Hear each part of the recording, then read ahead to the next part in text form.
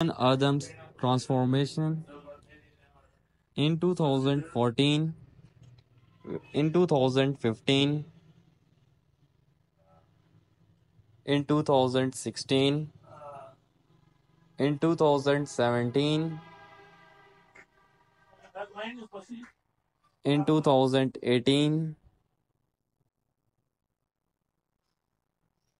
in 2019 in 2020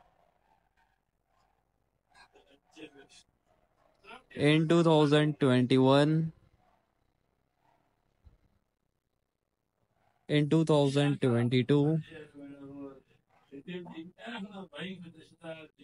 in 2023 in 2024 Sydney Serene transformation in 2016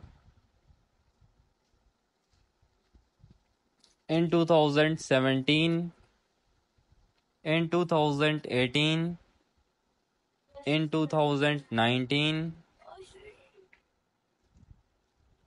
in 2020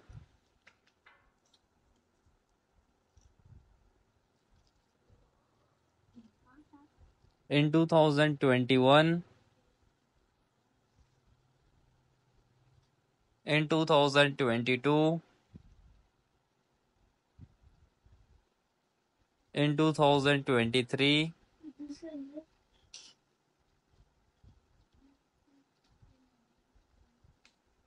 in 2024 thanks for watching my video.